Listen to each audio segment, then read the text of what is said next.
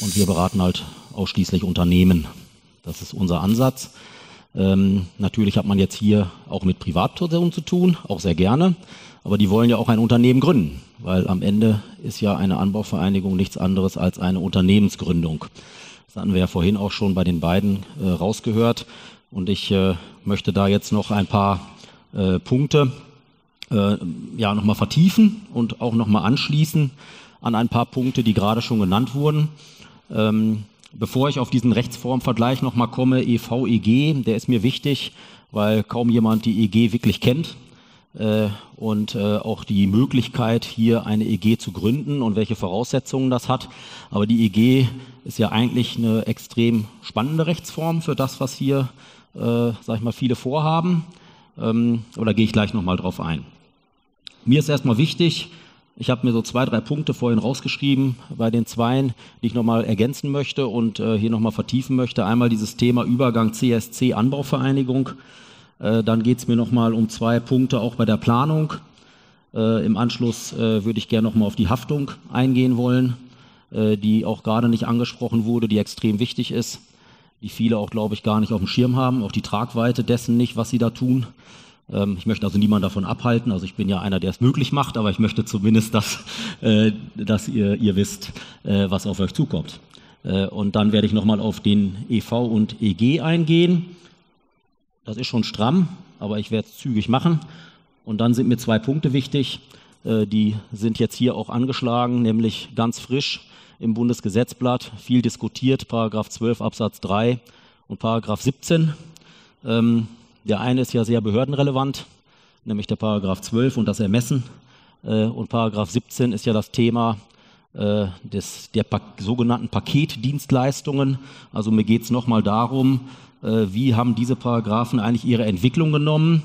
Das mag im ersten Augenblick vielleicht ein bisschen trocken wirken, ist aber extrem wichtig für die Planungen, vor allen Dingen auch unter dem Gesichtspunkt, was dürfen eigentlich Dienstleister und wenn man die Investoren mal unter denjenigen auch ähm, äh, verortet, die ja das Geld bringen, die also häufig sagen, ich habe eine Immobilie, ich habe Technik oder ich investiere in diese Technik. Äh, insofern passen diese beiden Paragraphen auch wunderbar äh, zum Titel des Vortrags. Ja, ähm, vielleicht ein Punkt vorab jetzt, äh, Übergang CSC zur Anbauvereinigung. Ähm, es ist ja so, die, die CSC-Welt, die ist ja eine eine unverbindliche Welt, eine Welt, in der man sich einsetzt für die Entkriminalisierung, in dem, in dem in der Austausch stattfindet, in der ähm, äh, sage ich mal auch übergreifend, vereinsübergreifend Menschen zusammenkommen äh, und sich eben dafür einsetzen, dass ähm, Cannabis legal konsumiert werden kann und angebaut werden kann. Das ist ja, ich will nicht sagen die alte Welt, aber man muss es schon fast so sehen.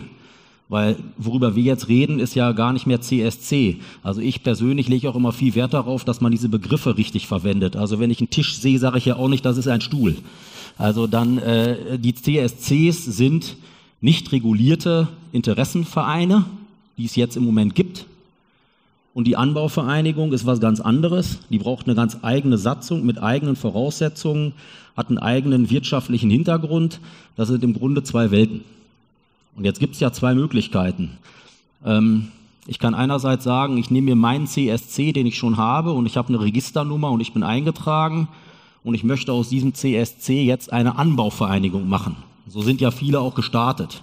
Man liest das ja häufig auch in den Satzungen. Wir treten an, Anbauvereinigung zu sein, zu werden, beziehungsweise der Begriff taucht nicht auf, aber vom Sinn her, dass man halt anbauen möchte und dass man das, wenn das dann erlaubt ist, eben auch äh, dann tun möchte und organisieren möchte. Das Problem ist, dass man das in dieser Form eigentlich gar nicht kann, weil sämtliche Satzungen dazu gar nicht geeignet sind. Das heißt, alle, die sagen, ich möchte aus einem CSC eine Anbauvereinigung machen, müssen ihre komplette Satzung umändern. Im Grunde eine Neugründung machen, wenn man so will, faktisch. Äh, würde ich auch immer empfehlen, anstatt eine Satzung in einer Riesensynopse fürs Registergericht mit durchgestrichen und neu und Unterstrichen einzureichen, würde ich einfach eine Neufassung beschließen. Dann ist natürlich das Problem, dass die Satzungen oft nicht gut sind. Und das habe ich jetzt schon oft erlebt, dass das gar nicht so einfach ist, aus einem CSC eine Anbauvereinigung zu machen durch Satzungsänderung. Ein Beispiel, es sind Satzungen im Umlauf, Da sind dann Leute aufgenommen worden als Fördermitglieder und in der Satzung selbst sind aber gar nicht die Mitgliedschaftsarten unterschieden worden, sondern in der Beitragsordnung und das gar nicht zulässig. Also sind jetzt Leute aufgenommen worden, die glauben, sie sind Fördermitglied, zahlen als Fördermitglied auch einen Beitrag, dann haben die kein Stimmrecht, dann wird eine Veranstaltung, also eine Mitgliederversammlung äh, abgehalten, Satzungsänderung, dann werden die womöglich nicht eingeladen, müssen aber eigentlich eingeladen werden, haben die dann eine Stimme, weil die gar nicht wirksam Fördermitglied sind, sondern sind die dann ordentliches Mitglied, also Riesenprobleme, weil das Registergericht, das wird ja darauf gucken, ob die Satzungsänderung ordnungsgemäß zustande gekommen ist. Also insofern in der Praxis bei mir, ich gehe im Moment dahin zu sagen, äh, lassen Sie Ihren CSC CSC sein, lassen Sie den bestehen und machen Sie daneben auf einem weißen Blatt Papier eine Anbauvereinigungssatzung. Die sieben Mitglieder sind sowieso da, weil die sind ja auch im CSC organisiert. Und dann macht man das neu, blanko, hat auch keine Vergangenheit für diesen Verein sozusagen. Die kann einem ja auch oft mal das Genick brechen, muss man ja sagen. Gehe ich gleich nochmal drauf ein. Also insofern ähm, wäre immer mein Ratschlag an der Stelle, schon aus praktischen Gründen Anbauvereinigung neu gründen, so machen, wie es das Gesetz vorsieht. Ich persönlich gründe die erst jetzt alle, weil was nützt mir eine Anbauvereinigung von vor zwei Monaten? Äh, die, äh, ich habe die jetzt alle so an den Rand getrieben, dass man jetzt sagt, jetzt gehen wir in die Umsetzung, weil das jetzt auch durch ist, weil ich jetzt die Sicherheit habe, dass auch nichts mehr kommt. Und jetzt wird gegründet. Das war auch nochmal, was gerade war, äh, das Thema, dass man im Grunde genommen auch keinen Wettlauf machen muss, sondern dass man ordentlich sein muss und verlässlich, weil man eben ein Unternehmen gründet. Ja, und da muss man auch entsprechend so rangehen. So, dann hat man die Anbauvereinigung, die gibt man ganz normal zur Eintragung und den Social Club, den kann man ja bestehen lassen. Und das hat auch gute Gründe, warum man den bestehen lassen sollte, weil ich in der Anbauvereinigung ja auch nichts mehr darf. Also ich habe jetzt auch so eine Satzung gelesen, dass der Zweck Anbau umgesetzt wird durch Schulungen und Aufklärung und was weiß ich, das ist alles gar nicht erlaubt. Also ich kann den Satzungszweck Eigenanbau und Weitergabe von Cannabis und Vermehrungsmaterial nur umsetzen, indem ich das eben produziere abbaue und weitergebe. Das heißt, ich darf in einer Anbauvereinigung noch nicht mal sagen, ich gehe jetzt im Namen der Anbauvereinigung in Schulen und mache da Aufklärung. Ist gar nicht erlaubt. Vom Satzungszweck nicht gedeckt. Also deswegen muss man nochmal klar sagen, da ist man in so, einem, in so einer ganz eigenen kleinen Welt. Der Gesetzgeber möchte nur, dass da angebaut wird und dass da weitergegeben wird. Social, haben wir ja heute auch schon gehabt, will er nicht. Also ist es sinnvoll, auch deswegen schon alleine, nicht aus dem Social Club eine Anbauvereinigung zu machen, weil mir danach im Grunde mein Social Club wegbricht. Ich darf das alles nicht mehr. Muss man also unbedingt auf dem Schirm haben. Und dann ist es natürlich sinnvoll, vielleicht diesen Social Club auch umzuändern. Ähm, eine Möglichkeit wäre ja auch zum Beispiel äh, die Möglichkeit zu schaffen, dass dann eine Anbauvereinigung auch in einem solchen Social Club Mitglied werden kann, Fördermitglied zum Beispiel äh, und dass man daraus auch so eine Art Interessenverband für eine oder zwei, drei, vier Anbauvereinigungen macht. Hat man eine andere wirtschaftliche Grundlage, hat nochmal einen anderen Auftritt nach außen und kann dort eben auch als Anlaufstelle dienen für Interessenten, die man dann womöglich zu einer neuen Anbauvereinigung zusammenführen kann. Weil die Anbauvereinigung an sich, da sind wir ja auch wieder bei dem Problem, die darf ja keine Werbung machen, kein Sponsoring, und dieses Werbeverbot ist knallhart. Das ist ein absolutes Werbeverbot. Da gibt es null Spielraum. Und was Werbung ist, entscheidet nicht der, der Werbung macht, sondern der, der es empfängt. Also entscheidend ist, wie, ähm, wie ihr achtet das, was ihr tut, wie kommt das beim Empfänger an. Und in der Werbung ist man ganz schnell, weil man hat ja immer den Drang, nach außen zu gehen, weil man auf sich auf seine Anbauvereinigung aufmerksam machen möchte, sonst würde ich ja nicht nach außen gehen. Und weil dieser Drang ja auch bei jedem ausgeprägt ist, ist auch vielleicht dieser Social Club daneben nicht so ganz verkehrt, weil da kann ich diesen Drang zumindest ein bisschen ausleben und schütze meine Anbauvereinigung. Weil wenn ich mit der Anbauvereinigung nach außen gehe und Werbung mache, riskiere ich meine Genehmigung. Und ich als Vorstand bin unzuverlässig und werde auch nicht länger Vorstand sein können. Und es ist, und es ist noch hinzu kommt, es ist ein Bußgeldtatbestand. Also Deswegen kann ich nur anraten, die Vorschriften ernst zu nehmen und sich Gedanken zu machen. Vorher, wie stelle ich das auf? Was brauche ich? Was kann ich? Wie will ich in Erscheinung treten? Was will ich in zwei Jahren? Wo will ich eigentlich hin? Wo, was will ich mit meinem Social Club machen und was darf ich da noch machen? Ich darf da ja auch nicht alles machen. Also auch da darf ich natürlich keine Werbung für Cannabis machen. Ja? Hm. Und das Gefährliche ist, dass eben auch dieser Mittelbarkeitsgrundsatz in der Werbung gilt. Das heißt, es geht ja immer um Konsumanreize. Wenn jetzt jemand sagt, ja, ich mache keine Werbung für Cannabis, ich mache Werbung für Cannabis-Samen. Ja, dann ist natürlich die Frage, wo fängt da jetzt äh, Cannabis-Werbung an und wo endet die Samenwerbung? Also die Übergänge sind da sehr fließend und da wäre ich sehr vorsichtig und würde das in jedem Fall vorher prüfen lassen, genauso wie auch Internetseiten. Informiere ich da oder mache ich da Werbung und wofür eigentlich? Also Werbung für meinen CSC, das ist ja okay. Aber was mache ich auf der Seite des CSCs? Ja, was schreibe ich da? Welche Bilder verwende ich da? Da muss ich also sehr sorgfältig drauf achten. Das ist genauso wie mit dem ganzen Thema Instagram und so weiter. Natürlich eigentlich sind ja sämtliche Medien dazu da, um zu, sich zu bewerben und da werden ja viele Dinge dann auch äh, diskutiert, äh, die in, dann auch sehr schnell als Werbung aufgefasst werden können. Und das Besondere ist, in Paragraph 12 treffen die Behörden eine Prognoseentscheidung. Also ähm, es ist halt so, wenn ich jetzt im Moment ganz viel Werbung mache oder jetzt im Moment, also sprich vor dem 1.7., ne, ähm, auch mich öffentlich vielleicht in der Weise äußere, dass ich sage, ach, Cannabiskonsum mit 18 ist auch gar kein Problem und ich habe das noch nie verstanden, warum es diese Regelungen gibt und man hat halt im Hinter Internet so seine Spuren hinterlassen. Dann ist das Problem, dass die persönliche Zuverlässigkeit in Paragraph 12 die Behörde prüft, ob es Anhaltspunkte dafür gibt, dass ich mich als Vorstand in der Zukunft an diese Bestimmungen nicht halten werde.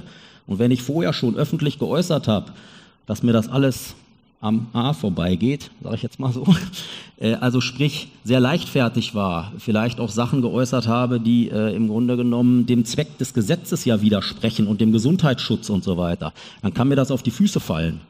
Deswegen wäre ich auch sehr vorsichtig bei dem Thema Werbung und Werbung für Cannabis, weil die Prognoseentscheidung der Behörde muss ja irgendeine Quelle in der Vergangenheit haben, um die dann fortschreiben zu können. Also insofern kann ich da nur sagen, seid vorsichtig und achtet ganz genau darauf, was ihr tut, vor allen Dingen, was ihr jetzt tut. Vergangenheit kann man ja auch nicht mehr ändern, aber dass man zumindest schaut, wie kann ich mich da vielleicht von abnabeln, wie kann ich mich auch vielleicht, wenn ich nicht gut gehandelt habe, bewusst dagegen stellen. Aber das sind nochmal, glaube ich, ganz, äh, ganz wichtige Themen. Ähm, ja, dann nochmal zum Thema Planung äh, wollte ich nochmal was sagen, auch in Ergänzung zu dem, was äh, vorhin schon gesagt wurde. Ähm, Viele sagen ja auch, ja, ich mache eine Marke, ne? also ich brauche irgendein Branding und das ist natürlich auch wieder so eine, so eine, so eine, so eine Schnittstelle zur Werbung. Ja? Ähm, da muss man halt sehen, benutzt man das jetzt wirklich werblich? Hat man da womöglich noch ein Bild, was man hinzufügt, typisches Blatt oder ähnliche Themen? Äh, oder macht man, geht man rein in den firmenmäßigen Gebrauch? Also ich kann ja, meine Anbauvereinigung muss ich ja nicht unbedingt wie eine Autobahnabfahrt bezeichnen. Ja, ich muss ja nicht sagen Anbauvereinigung Berlin Mitte. Ne? Ich kann ja auch, äh, kann ja auch die anders nennen. Aber dann muss ich eben auch im firmenmäßigen Gebrauch bleiben. Dann darf ich nicht daraus im Grunde genommen schon wieder Schlagwort, eine Schlagwortverwendung machen und muss dann wieder höllisch aufpassen, dass ich nicht in ein werbliches Verhalten komme.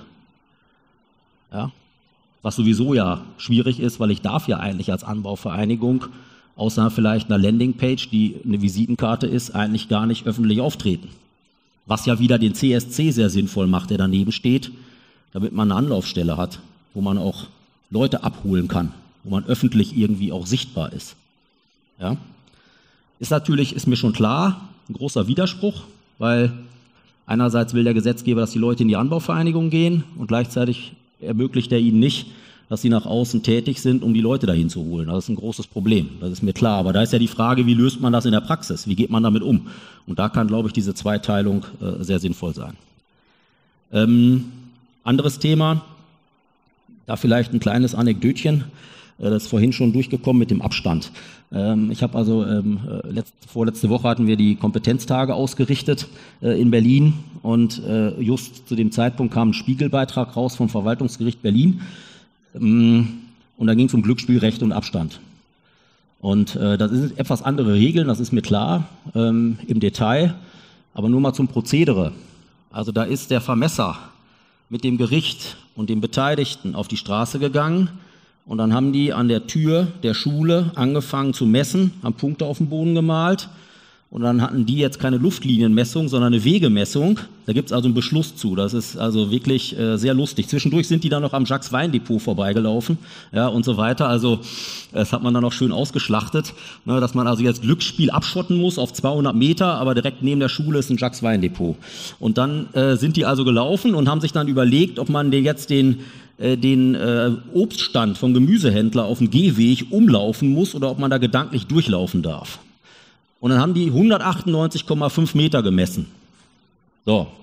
Ähm, und ja, dann hat er halt seine Lizenz verloren. Die Aussage des, des äh, Betreibers dieser Glücksspieleinrichtung war dann, naja, dann verlege ich meine Tür um zwei Meter.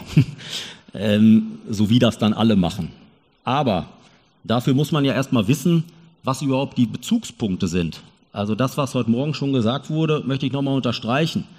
Nicht Google gucken, Pi mal Daumen und dann scheitert es nachher, weil der eine Bezugspunkt, der ist im Gesetz klar, im Paragraph 12, nämlich der Eingangsbereich, der ja auch schon nicht so ein ganz klarer Begriff ist, der wird aber durch die Gesetzesbegründung zur Eingangstür konkretisiert. Kann man sagen, das ist ein relativ klarer Begriff, aber ist das jetzt die Eingangstür eines Kindergartens, weil der ist ja zum Beispiel komplett umzäunt. Ist das die Eingangstür oder ist die Eingangstür vom Gebäude gemeint, vom Kindergarten, was dann auf diesem Gelände steht? Und für, mein, für meine Anbaufläche ist gar kein Bezugspunkt genannt im Gesetz, sondern nur für die Einrichtung.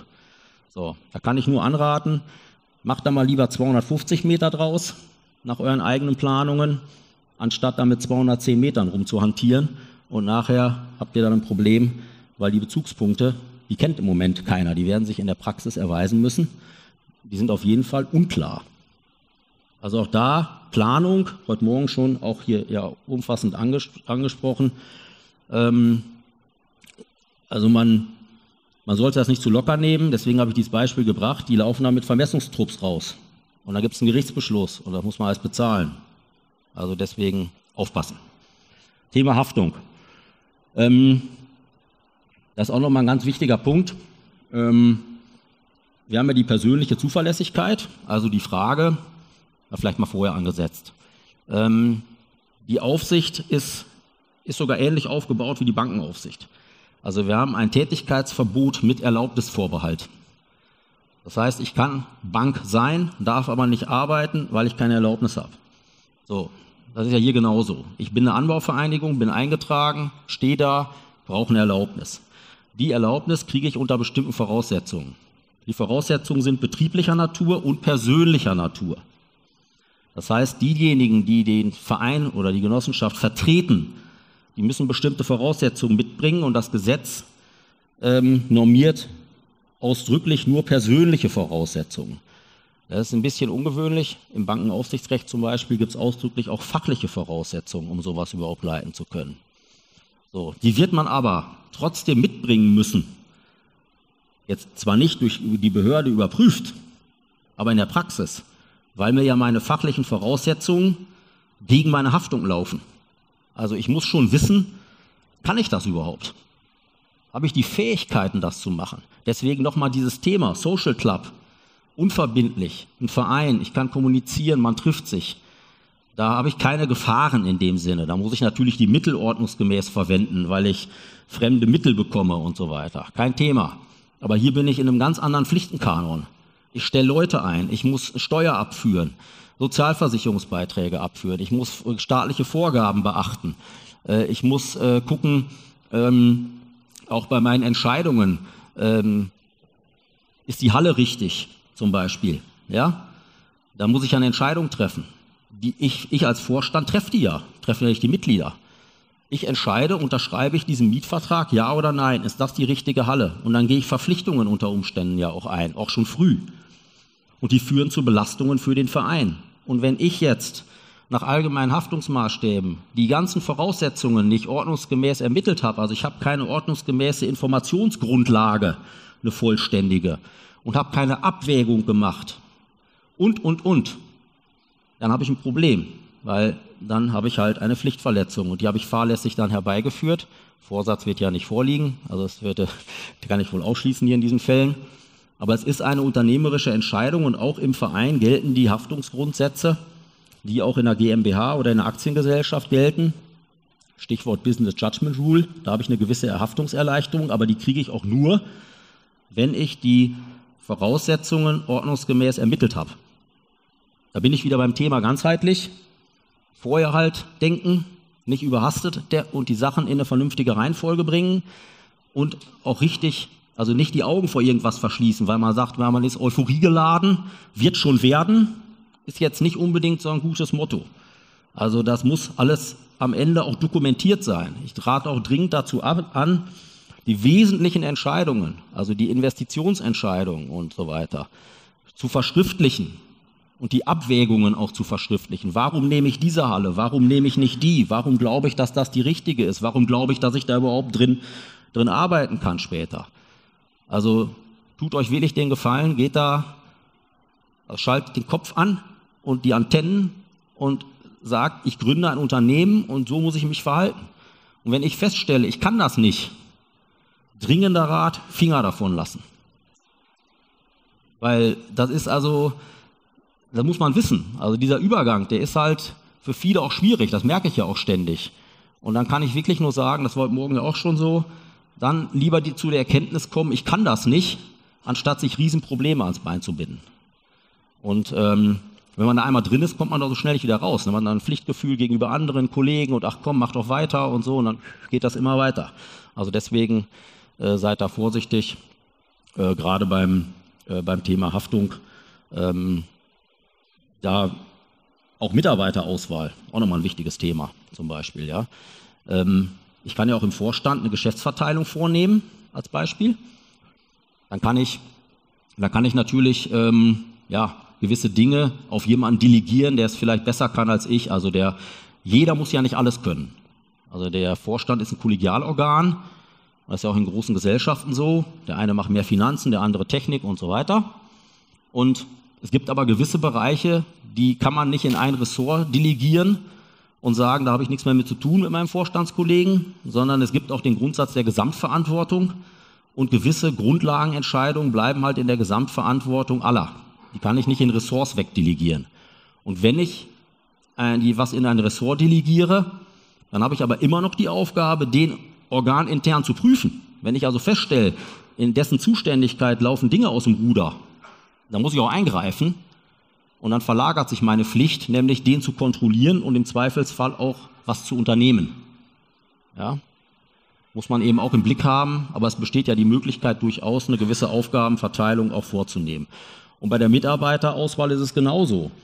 Also ich kann jetzt nicht sagen, wir sind da fünf Kumpels und wir machen das und der macht das und das kam ja heute auch schon durch. Der hat dann mal fünf Pflanzen im Keller betreut und der ist jetzt der Grower und äh, so, da ist natürlich am Ende ist der Vorstand dafür verantwortlich, äh, wen er auf welche Position auch setzt. Ehrenamt ist eine Sache, aber die muss man ja auch machen lassen. Ähm, also dulden als Vorstand, man teilt ja auch Arbeit ein, so. Aber spätestens dann, wenn man Leute einstellt und Arbeitsverträge abschließt, muss man sich natürlich vergewissern, ob die Leute das auch können und ob die entsprechend äh, auch die Arbeit richtig erledigen, nachhaltig. Und äh, das muss ich halt, da bin ich für verantwortlich. Und ich muss die auch kontrollieren. Und im Zweifel muss ich denen auch sagen, du hörst jetzt auf. Du machst das nicht mehr. Und wenn ich den dann gut kenne, hm, kann schwierig werden, kann schnell so einen Verein sprengen. Also da ist vielleicht zu viel Nähe manchmal auch nicht gut. Also deswegen, ich kann die Themen nur anreißen, aber ich möchte dazu anregen, weil ich das ständig in meinen Workshops habe. Ich mache immer so Tagesworkshops halt. Die Dinge wirklich komplett zu durchdenken, sich Gedanken zu machen, sich selbst zu reflektieren. Also das ist eben keine Spaßveranstaltung. vor allen Dingen muss man eins sagen, ähm, es gibt ja regulierte Bereiche in Deutschland. Glücksspielrecht ist ja auch ein Thema, Banken ist ja immer auch in der Öffentlichkeit ein großes Thema und so weiter, da haben wir ja viel mit zu tun. Ähm, aber es ist halt auch so, dass äh, dieser Bereich extrem durchreguliert ist. Also es gibt nur wenige Bereiche, würde ich mal meinen, im Wirtschaftsleben, die so durchreguliert sind wie dieser. Mit so vielen Meldepflichten, Kontrollpflichten und Sachen, wo man aufpassen muss. Da steht man ja ruckzuck, steht man da ja auch Guckt euch mal den 34 an und die Bußgeldkatalog. Da ist jede Pflicht gegengespiegelt. Der hat anderthalb Seiten. Und in jeder Zeile steht der Verstoß gegen, Verstoß gegen, Verstoß gegen. Und jeder Verstoß führt dazu, ich bin unzuverlässig, ich bin unzuverlässig, ich bin unzuverlässig. Also macht euch einen Plan von Anfang an und seid euch darüber im Plan, was ihr da tut. Ja, das ist mir echt wichtig, weil sonst äh, hat keiner Spaß daran. Und es funktioniert nicht und dann stehen einem die Mitglieder auf vor der Tür. Ja, muss man ja auch mal sehen. Man hat ja auch Versprechungen gemacht. Wir machen das für euch. Ne? Ihr bekommt demnächst das und das. Dann haben die womöglich schon Geld gezahlt. Und dann erwarten die auch, dass das klappt. Und dann habe ich das Geld ausgegeben, aber habe vielleicht Entscheidungen getroffen mit unter den Voraussetzungen, dass nie funktionieren kann. Da wäre ein Problem. Dann habe ich fremdes Geld äh, weggegeben und ja, auch bei so Mietverträgen, wenn ich die unterschreibe, erstmal ruckzuck im Eingehungsbetrug. Wenn ich kein Geld habe auf dem Konto als Verein, kann ich auch nicht irgendjemandem einen Mietvertrag unterschreiben, dass ich da in, in vier Monaten jeden Monat 5000 Euro bezahle als Verein, wenn ich überhaupt nicht weiß, ob ich das kann. Da habe ich einen Eingehungsbetrug. Punkt. Ganz einfach. Also deswegen vorsichtig sein und das, was heute Morgen durchkam, kann ich nur unterstreichen. Ablaufpläne festlegen, ähm, klar sehen, was man kann, wann macht man was und so weiter und keine Eile. Eile ist hier überhaupt kein guter Ratgeber, sondern Sorgfalt und Qualität. Ja, dann ähm, EVEG. Ja, EG ist mir so eine Herzensangelegenheit, weil ich damit groß geworden bin sozusagen und weil ich da viel auch mit Genossenschaften arbeite und die Gründe und äh, alles Mögliche. Ähm, ich bin enttäuscht, weil der Gesetzgeber hat die Genossenschaft hier ins Gesetz gebracht spät, im zweiten Anlauf sozusagen. Und ähm, über diese Tatsache, nur deswegen stehe ich auch heute hier, weil über diese Tatsache bin ich in diesen Bereich hineingekommen äh, und äh, habe da jetzt viel Freude dran und, und, und mache das auch mit äh, viel Enthusiasmus, muss ich sagen. Ähm, aber es ist für die EG extrem schwierig. Ähm, man muss Folgendes sehen. Der Gesetzgeber hat jetzt auf der einen Seite diesen Idealverein vorgesehen. Und ein Idealverein, das kennt ihr aus, aus Social Clubs, der ist halt beitragsfinanziert. So, das ist die eine Sache. Dann habe ich auf der anderen Seite die EG. Die EG ist ein wirtschaftlicher Sonderverein, also das ist, das ist eine Rechtsform des Wirtschaftslebens. So. Und der ist eigentlich, ist es die richtige Rechtsform, weil das, was hier stattfindet, ist eigentlich Wirtschaftsleben. Also im Rechtskleid der, des EV seid ihr eigentlich gar nicht so richtig aufgehoben. Deswegen diese Themen mit Haftung und Aufsicht und so, das passt ja eigentlich nicht in die EV-Landschaft. Das ist eigentlich eine, eine, eine Sache aus dem Wirtschaftsleben, wenn man so will. So. Jetzt haben wir die, jetzt haben wir die Genossenschaft im Gesetz.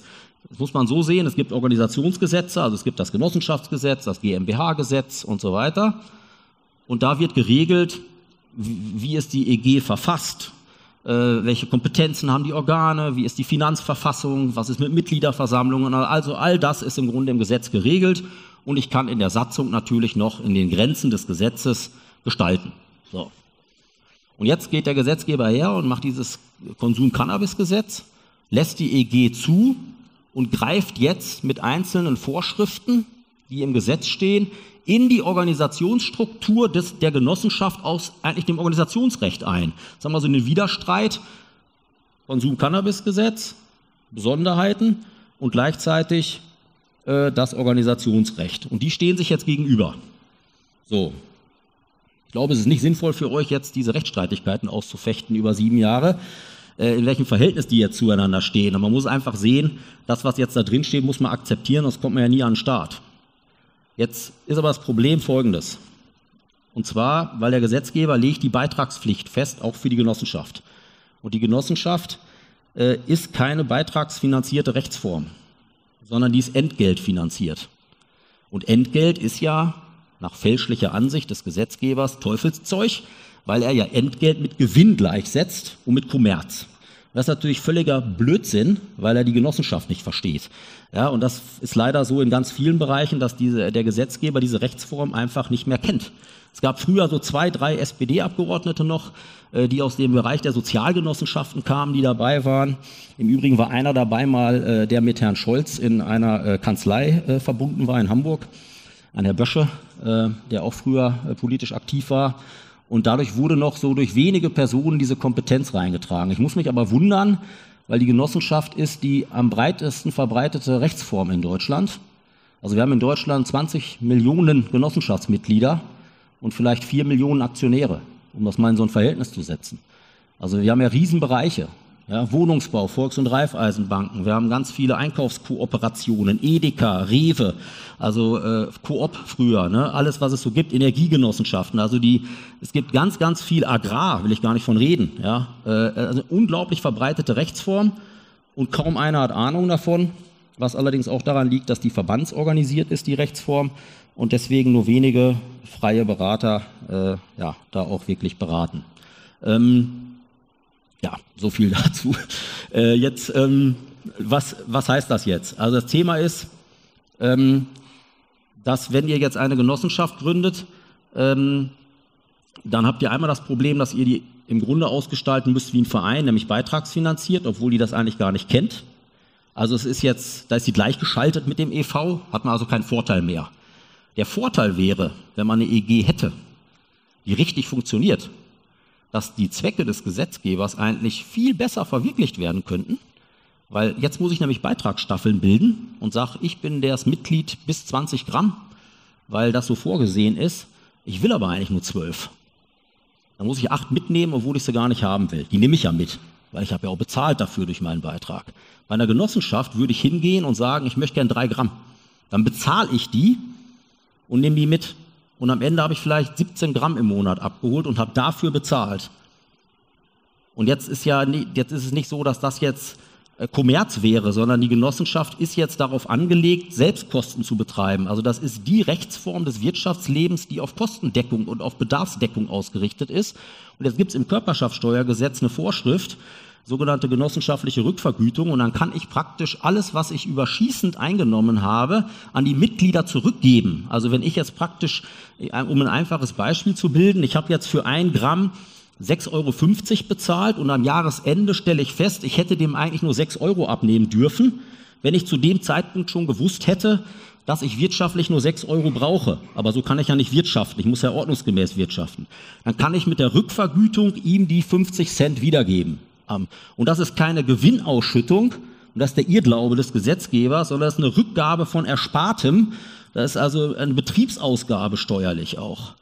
Also Vorsteuer. Und damit wäre die Genossenschaft total prädestiniert, auch diese ganzen Konsumthemen zu regeln äh, und als Wirtschaftsrechtsform hier auch viel besser geeignet vor dem Hintergrund der ganzen Pflichten, die ihr alle habt. Ich habe eine Stellungnahme eingereicht im Laufe des Gesetzgebungsverfahrens und die Dinge genau so auch dargelegt. Aber wie das so ist, ja, bitter. Aber ich habe gestern mit dem äh, Abgeordneten hier noch telefoniert oder mit dem, ich habe den Namen jetzt nicht ganz parat, von, von, von den Linken gestern, der hier war, Tem Temper, ne? Ja, Tempe, ist noch da, ja. Ähm, und dem wollte ich das nochmal einreichen. Ach, da hinten ist er, ja. Sorry, wir Namen nicht mehr ganz parat gehabt gerade. Also das werde ich nochmal einreichen, auch nochmal, dass das vielleicht auch nochmal in Umlauf kommt. Also das ist, äh, und man könnte auch mit der Genossenschaft andere Größengruppen auch bilden. Also man hätte dann vielleicht auch mehr Möglichkeit, den Kleinkonsum unterzubringen, weil man nicht auf diese 500 Mitglieder beschränkt sein müsste dann vielleicht, weil man ist ja auch in einen Prüfungsverband eingebettet und hat eine ganz andere Sicherheit in der Rechtsform als in einem Verein. Also der Verein empfiehlt für, für so eine Sache wie diesen, diese Produktion von Cannabis und diesen riesen, diesen riesen Apparat, den er darum bildet, eine, eine Rechtsform aus dem Freizeitbereich ohne jegliche Kontrolle. Ich habe einen internen Kassenprüfer und der ist mein Kumpel. Also das ist ja ein Wahnsinn. Ich verstehe das nicht. Also das, aber es ist so, ja. Hm?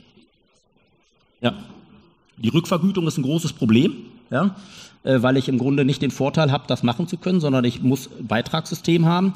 Dann habe ich bei der EG einen zwingenden Aufsichtsrat.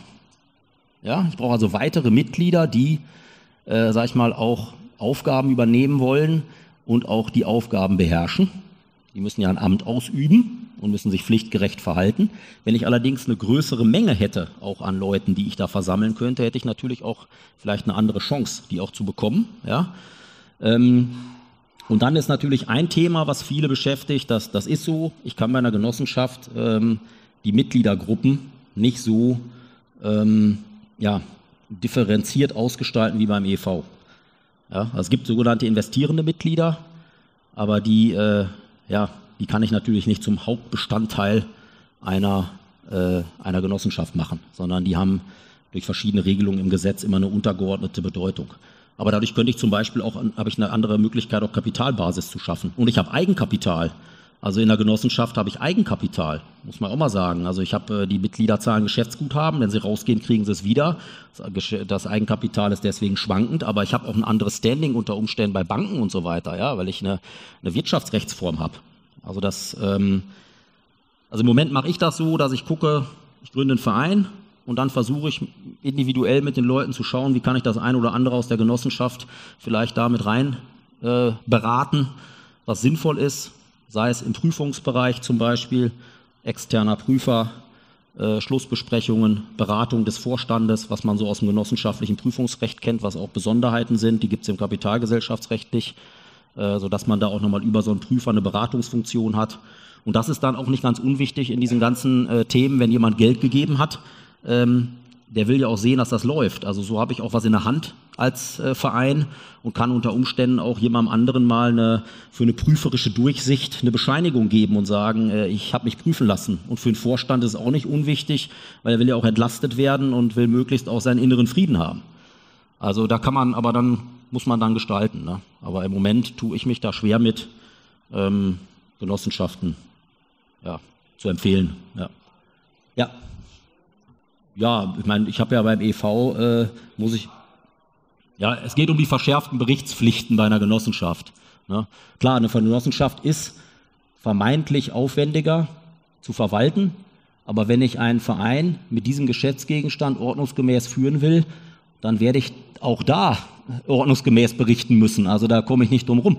Ich kann den ja nicht führen wie ein, wie ein keine Ahnung, Taubenzüchterverein. Ja? Also das äh, geht ja nicht. Also deswegen ähm, sind das Dinge, die fallen für mich nicht so ins Gewicht. Genauso wie die Gründungsprüfung bei einer Genossenschaft, weil auch hier jede Anbauvereinigung braucht einen Wirtschaftsplan, braucht jemanden externes, der mit spitzem Bleistift durchrechnet, ob sich das in diesem Objekt mit der Technik, mit den Dingen, die man plant, auch tatsächlich rechnet. Also äh, letztendlich muss auch jede Anbauvereinigung eine Art Gründungsprüfung durchlaufen. Ähm, zumal sie ja in den seltensten Fällen standalone ist, sondern immer irgendwo auch vielleicht eingebettet ist, jemanden hat, der auch Geld gibt. Ähm, und äh, insofern äh, ist da ja auch ein Bedürfnis, äh, sonst wird er auch kein Geld geben. Ja, in seltensten Fällen. Also insofern sehe ich die Dinge nicht als so nachteilig an. Die anderen Sachen, die sind eher die, die mich persönlich stören und die auch dem Zweck entgegenlaufen. Ja. Gut. Ähm, ja, dann wollte ich mal äh, zu diesen zwei Sachen kommen, äh, und zwar zu Paragraph 12 und zu Paragraph 17. Ähm, ich, ich, muss jetzt ein bisschen theoretisch werden, aber ich, äh, ich versuche es locker darzubringen. Ja. Aber erfordert ein bisschen Aufmerksamkeit. Mir ist aber wichtig, äh, dass, dass da ein Verständnis für entwickelt wird, wie, wie ich zu meiner Meinung komme. Also, wir haben ja jetzt äh, den Paragraphen 12 Absatz 3 Nummer 2, der wird ja auch in Kraft treten jetzt. Ähm, und das ist ja das, was, oh, da hat's verhauen. Ja, Entschuldigung. Ähm, also das Thema ist ja, was ja viel auch öffentlich schon auch äh, beschrieben wurde, ähm, wenn ich halt ein Gebäude habe, eine Halle und ich möchte da mit zwei, drei, vier Anbauvereinigungen rein oder in ein Gewächshaus oder ich habe äh, eine Fläche und da sind zwei Gebäudeteile und ich möchte da mit zwei, dreien dann hin. Ähm, geistert ja viel durch die Gegend, ja, darf ich nicht mehr, ist verboten. So, das möchte ich nochmal klarstellen, dass es nicht verboten ist, ähm, sondern im Grundsatz ist es erlaubt und die Behörde kann es versagen im Einzelfall. Also das, ähm, ist nochmal wichtig zu verstehen, dass Warum hat man das gemacht und nach welchen Kriterien, darauf will ich hinaus, kann eigentlich jetzt eine Behörde handeln? Also was ist jetzt ordnungsgemäßes Behördenhandeln? Und wie geht man damit um, wenn man das vorhat? Ähm, also die Begründung sagt halt, es soll ermöglicht werden, sicherzustellen, dass nicht eine Vielzahl von Anbauvereinigungen Anbauflächen am selben Ort oder im selben Objekt betreiben dürfen. Das ist im Grunde der Kernsatz äh, aus den aus den Begründungen. Wie ist es dazu gekommen? Ähm, also es war ja am Anfang so, äh, dass in der ursprünglichen Gesetzesbegründung sogar ausdrücklich davon die Rede war, dass mehrere an einem Ort sein dürfen, mit dem Zusatz, der eigentlich selbstverständlich ist, wenn sie die gesetzlichen Vorgaben einhalten. Heißt also, nicht eine Fläche mit einem Springseil dazwischen, sondern jeder getrennt mit Sicherheitskonzept, Zutrittsrechten und so weiter in einem Objekt klar voneinander abgetrennt. So, so haben ja viele auch gedacht. Dann kam der Bundesrat und hat gesagt, wir möchten, dass sichergestellt wird, dass nicht mehrere an einem Ort sind. Und aus dem nicht mehrere ist dann verhandelt worden, nicht eine Vielzahl. So, ähm, ja, ist, so läuft das.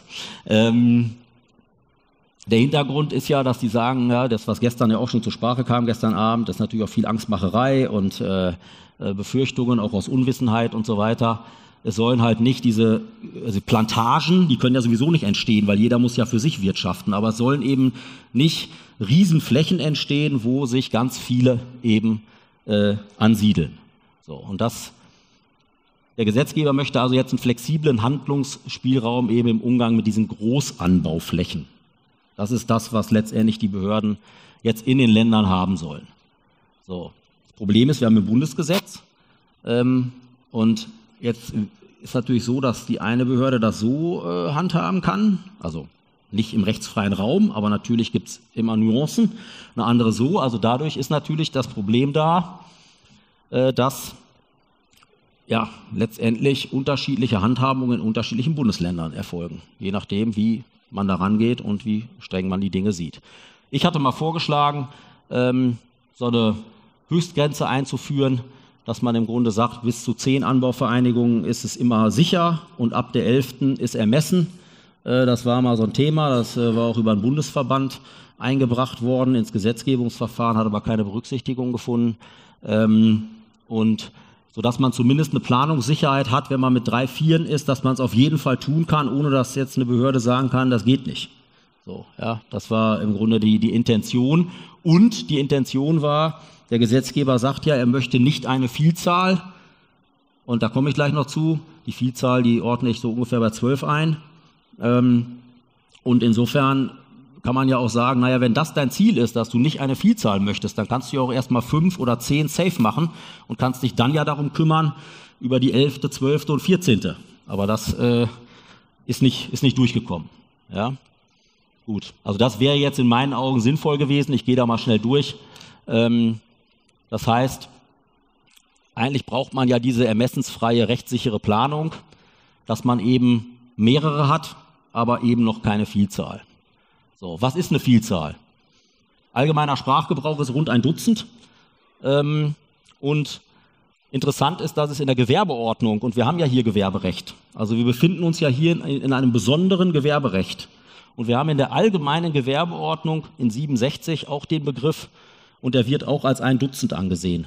Also das ist eine interessante Sache, wo man zumindest auch diesem Begriff annähern kann genauso wie auch im Gesetz gegen den unlauteren Wettbewerb auf jeden Fall von niedriger zweistelliger Zahl die Rede ist. Aber eigentlich ist die Gewerbeordnung interessant. Also nehmen wir jetzt mal an, wir haben eine Vielzahl, definieren wir mal mit rund ein Dutzend. So, dann will ich nur sagen, ist klar, wir haben eine kleinteilige Anwendung, dann haben wir so einen Flickenteppich, dann haben wir natürlich das Problem, dass jetzt unter Umständen Behörden Ermessensfehler begehen, weil die äh, sagen, nee, wollen wir nicht, dann wird das nicht richtig begründet. Äh, dann kann man, hat man keinen Anhalt dagegen vorzugehen, dann muss man denen vorhalten, sie haben ihr Ermessen nicht ordnungsgemäß ausgeübt. Also es ist natürlich alles auch sehr fehleranfällig und eben nicht planbar. Ähm, so, und jetzt mal so ein Thema aus der Praxis, wo man vielleicht sagen kann, wenn, wenn ihr mit zwei, drei Anbauvereinigungen äh, ja, in Abstimmung seid oder, oder es ist ein CSC, der viele Mitglieder hat, der jetzt sagt, aus uns heraus möchten wir gerne zwei, drei Anbauvereinigungen gründen und die sollen zusammenbleiben, dann wäre ja auch eine Überlegung, auf die Behörden zuzugehen und zu sagen, wir, wir sind's, wir möchten hier mit zwei, drei Anbauvereinigungen aus den und den Gründen rein. Wir haben einen CSC, der bleibt auch bestehen.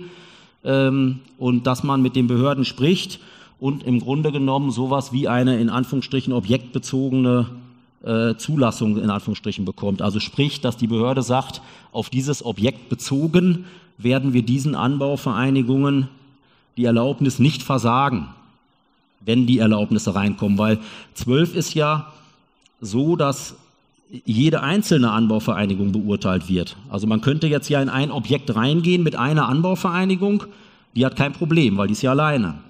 Aber wirtschaftlich habe ich ja das vielleicht im Ganzen gerechnet. Oder ganz sicher. Und dann kommt jetzt die zweite und die sagt, und dann sagt die, nee, du nicht.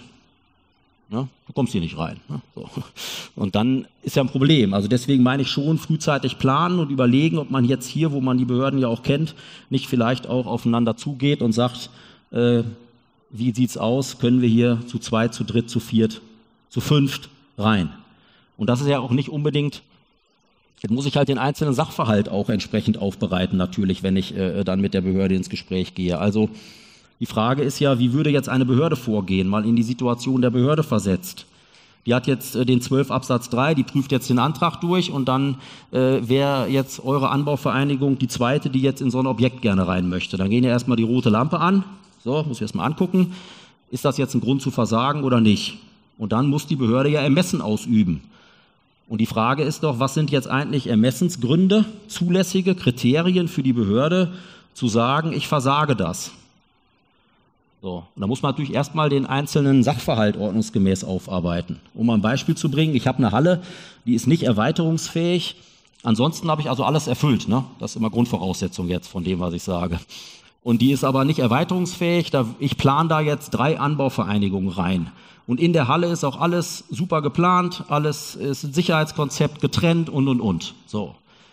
Und jetzt da die Frage, wenn jetzt die Behörde ihr Ermessen ordnungsgemäß ausübt, was sind denn die Kriterien, die sie zu berücksichtigen haben, die sie in Abwägung zueinander bringen müssen? Und wie sind die eigentlich ordnungsgemäß zu gewichten? Zu welchem Ergebnis wird das denn eigentlich führen bei ordnungsgemäßem Ermessen? Ja, das muss ich ja vorwegdenken.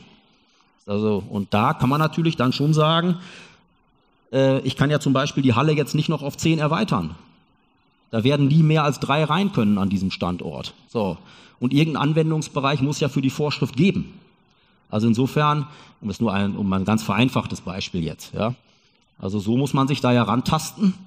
Mache ich ja auch nicht anders und ziehe meine, meine Erfahrungen aus anderen Bereichen hier rein und überlege mir, wie könnte man mit diesem Thema umgehen mir ist nur wichtig, da auch ein bisschen Kreativität äh, vielleicht äh, ähm, im Grunde in Gang zu bringen, dass man festhält, es ist nicht ausgeschlossen.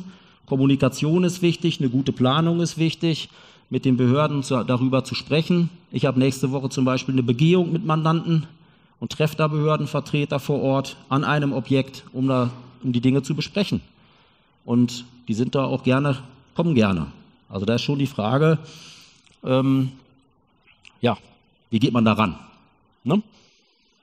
Also insofern, ich habe das mal so genannt, Vorwegnahme einer rechtmäßigen äh, ähm, Ermessensentscheidung, also Brille der Behörde aufsetzen und sich überlegen, besteht hier tatsächlich ein Grund der Versagung äh, oder nicht. Also das dazu. Ähm, dann zu dem 17. Stichwort gewerbliche Geschäftsmodelle, gebündelte Paketleistungen. Also eins muss man vielleicht nochmal vorweg sagen. Äh, der Gesetzgeber hat hier eigentlich äh, eine Sache zu viel geregelt, weil wenn man sich die Begründung anguckt zu diesem Thema, dann geht es darum, dass er Paketleistungen verhindern will, die auf Großanbauflächen basieren. Also da steht auch so in der Gesetzesbegründung drin. Wenn ich das jetzt so ernst nehme, dann reicht ja eigentlich, dass ich 12 Absatz 3 habe, weil wenn ich nie eine Großanbaufläche habe, dann brauche ich auch nicht die Beschränkung der Paketleistung auf Großanbauflächen. Also hat er hier eigentlich eine Doppelregelung getroffen, selbst für Kleinanbauflächen, obwohl das ursprünglich gar nicht vorgesehen war. Also wenn er zwölf regelt, ne, hätte er 17 gar nicht mehr regeln müssen, von, von der Zielsetzung her, weil er schon gar, gar nicht zu Großanbauflächen kommt. Also letztendlich äh, ist es eine, ja, eine, eine doppelte Einschränkung. Aber wie viel Einschränkung steckt da überhaupt hinter? Und da wird es jetzt ein bisschen, tut mir leid, dass da so ein paar Trennungssachen da, das ist irgendwie in der Formatierung jetzt verhudelt. Sorry. Also, das ist ja bekannt, Anbauvereinigungen. Anbauvereinigung darf Cannabis nur von Mitgliedern gemeinschaftlich angebaut werden, dürfen dann geringfügig Beschäftigten mit den, mit den unmittelbar mit den gemeinschaftlichen Eigenanbau und Weitergabe verbundenen Tätigkeiten übertragen, wenn die Mitglieder sind. Also, Anbau ist ehrenamtlich oder ich habe geringfügig Beschäftigte, die den Anbau mit unterstützen, die Mitglieder sind. Punkt eins. Auf den Satz gehe ich gleich auch gar nicht weiter ein, weil äh, geändert worden ist der ja nicht, sondern es geht nur um diesen kursiven Satz. Der war ursprünglich ja in der ersten Fassung. Sonstig entgeltlich Beschäftigte oder Nichtmitglieder dürfen nur mit Tätigkeiten beauftragt werden, die nicht unmittelbar mit dem gemeinschaftlichen Eigenanbau zusammenhängen. Also wir haben Anbautätigkeiten, anbaunahe Tätigkeiten und dann haben wir anbauferne Tätigkeiten. Wenn ich mir jetzt so einen Betrieb vorstelle, kann ja so mit ganz normalem Menschenverstand rangehen. Äh, was ist Anbau? Der Gesetzgeber äußert sich da auch nicht so ganz richtig, aber da kann man ja sagen, Samen, Aufzucht, ne, trimmen, ernten und so weiter, gießen, also alles, was man sich vorstellt, was man in so einer ganzen Prozesskette abbildet, dann kann man am Ende höchstens überlegen, ist jetzt tatsächlich noch Ernte und Trimmen Anbau? Was ist das auch vielleicht landwirtschaftlich? Ne? Also, was ist ja ein Pflanzenbau? Wie muss man das werten? Ich würde das eher mal so ein bisschen großzügiger sehen, anstatt das jetzt zu klein zu definieren, weil an verschiedenen Stellen in der Gesetzesbegründung die Ernte auch immer wieder genannt wird und auch das Trimmen der Pflanzen und so weiter. Also ich denke schon, das sollte man in jedem Fall mit dazu nehmen. Ähm, so. Mm. Und dann hat der Gesetzgeber gesagt, die nicht damit verbundenen Tätigkeiten, ich will mal ein paar Beispiele nennen, die in der Gesetzesbegründung stehen, Qualitätsberatung, Schulung von Mitgliedern zur Qualitätssicherung, Dokumentation, Buchhaltung, Reinigung, Sicherheit, Hausmeisterei.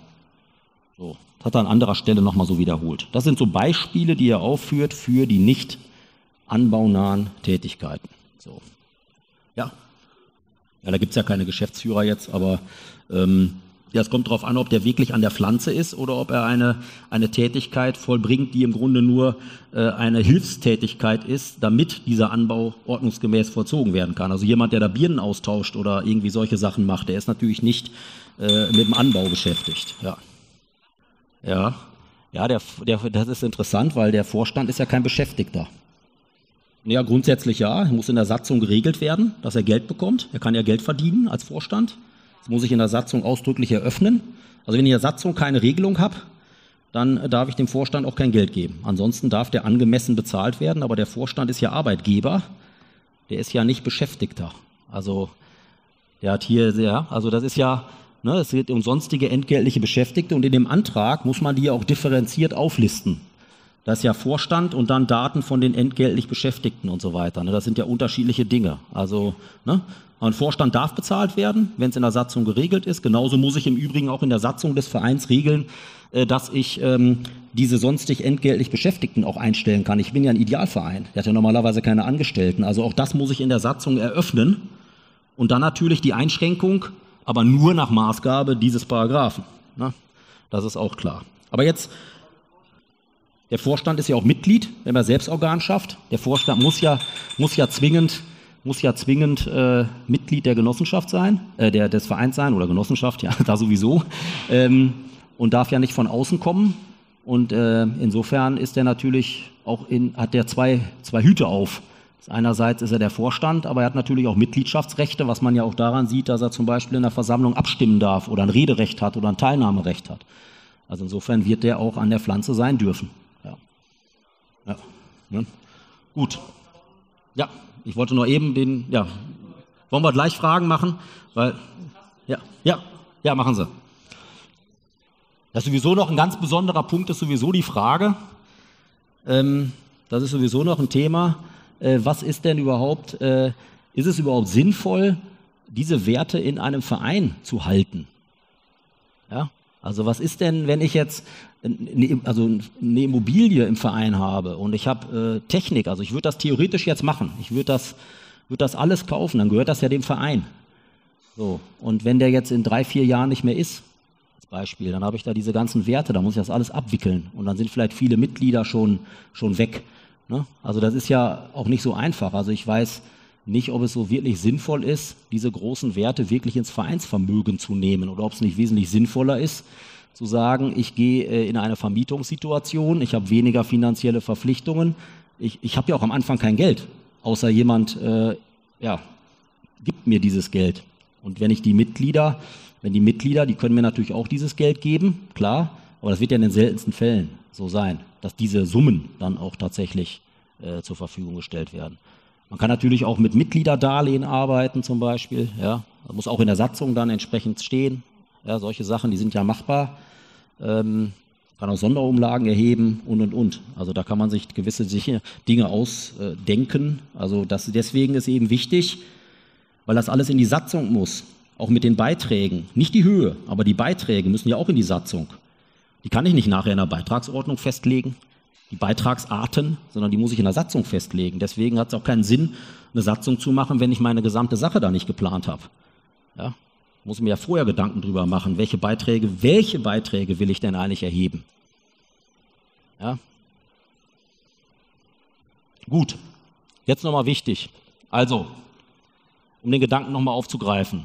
Wir haben also die Mitglieder an der Pflanze, um es mal so einfach zu sagen, und wir haben einige äh, Mitglieder oder Nichtmitglieder, die eben Tätigkeiten ausüben, die ähm, zum Geschäftsbetrieb dazugehören, betriebliche Tätigkeiten, ne, Buchhaltung, Reinigen und so weiter, alles was gerade genannt wurde, ähm, Dokumentation, Verwaltung, wie man, wenn man so einen kleinen Wirtschaftsbetrieb sich mal so vorstellt, was alles so anfällt, was man so erledigen muss. So. Und diese Tätigkeiten, da kann ich eben sagen, ich beschäftige, ich stelle ein, und sagt, du machst für mich die Buchhaltung und ich stelle einen Buchhalter ein. Lassen wir jetzt mal die Sinnhaftigkeiten beiseite, ich will nur die Beispiele bringen ähm, und mach das. So. Ähm, oder aber, was ja auch möglich ist, hiernach, ich gehe hin und beauftrage den Buchhalter. So, jetzt kam mir der Gedanke auf, ähm, ja, da kann man ja so Betreibergesellschaften drumherum bauen. Und dann macht er ja für mich jetzt die Reinigung, der macht die Objektsicherheit, äh, und dann mache ich die, die Tätigkeiten, die nicht mit dem Anbau zu tun haben, die lagere ich aus und dann kann ich da ja drumherum auch eine Konstrukt bauen, wo ich Geld verdienen kann. Alles soweit legitim, alles in Ordnung. Und das ging ja dann so weit, dass einige gesagt haben, ja, ich mache dir da so ein, deswegen ja auch das Thema mit den gebündelten Paketleistungen, ich mache dir so ein All-In. Und du musst eigentlich nur noch kommen und holst dir ab, überspitzt gesagt. So. Und das war ja das, wo man gesagt hat, nee, nee, das wollen wir nicht. So, aus verschiedenen Gründen. Diese Tätigkeiten, die jetzt nicht mit dem Anbau zu tun haben, die werden ja auch in den Gesetzesbegründungen, ich habe es mal hier hingeschrieben, da kommt ja auch nochmal, was ich gerade gesagt habe, mit der Ernte und so dazu, die werden so äh, definiert vom Gesetzgeber. So. Dann das, was ich schon gesagt habe, wörtlich, Qualitätsberatung etc. Alles nur Beispiele. So. Jetzt ist Folgendes passiert. Da ist der Gesetzgeber hergegangen und hat gesagt, jetzt darf man sonst nicht entgeltliche Beschäftigte oder Nichtmitglieder nur mit Tätigkeiten beauftragen, die nicht unmittelbar verbunden sind. Das ist derselbe Satz wie gerade, keine Veränderung. Aber denselben sonst nicht entgeltlichen Beschäftigten, ja, also den Müller, den darf ich jetzt nur noch mit einer Art von Tätigkeit beauftragen. Das heißt, ich stelle den ein in meiner Anbauvereinigung und jetzt darf ich den aber auch nur die Buchhaltung machen lassen. Wenn der sagt, ich nehme mir auch mal den Mob in die Hand und mache hier noch Reinigungsarbeiten, dann geht das nicht. Weil das nicht eine Art von Tätigkeit ist. Das heißt, man hat dann im Grunde genommen gesagt, wir, wir grenzen das ein. Der Mitarbeiter darf nur eine Art von Tätigkeit machen.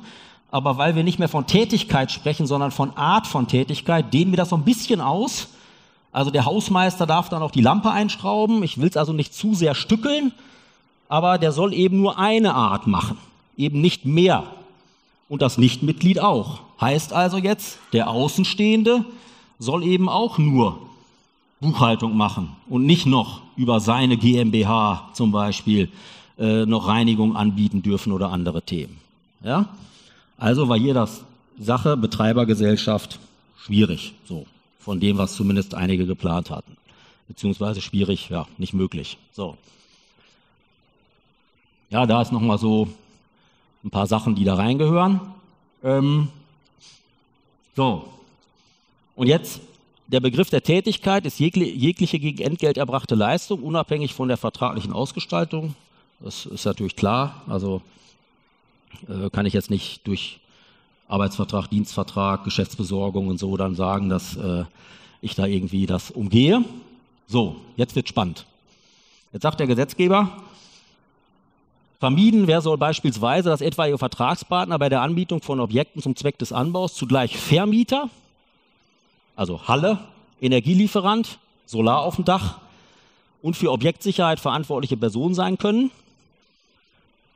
etwa in Form der Bereitstellung von vollständig mit Heizbeleuchtung, Bewässerung, Kameratechnik ausgestatteten Anbau für eine Vielzahl von Anbauvereinigungen.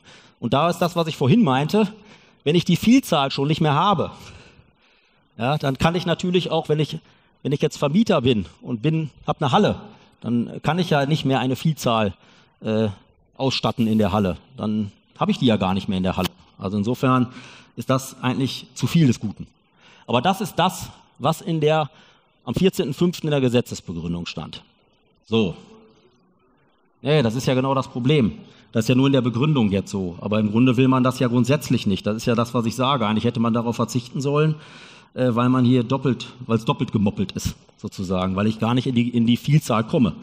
Aber weil es ja objektbezogen ist, was hier steht. Jetzt aber folgendes. Jetzt kam ja aufgrund dieser Sache, war jetzt die allgemeine Meinung, wenn ich jetzt eine Anbauvereinigung habe, dann darf ich also nicht bei einem Einzelnen oder umgekehrt mal gedacht aus demjenigen, der es zu, aus der Sicht desjenigen, der es zur Verfügung stellt, dass er sagt, ich darf nicht die Immobilie zur Verfügung stellen und eine Solaranlage auf dem Dach haben und die Energie liefern und dann baue ich dir da auch noch vielleicht die Technik rein oder habe irgendwas anderes, was ich dir noch mit der Halle mitgebe. Das geht nicht, weil das ja hier so steht, dass das nicht geht. Und das war ja viel diskutiert.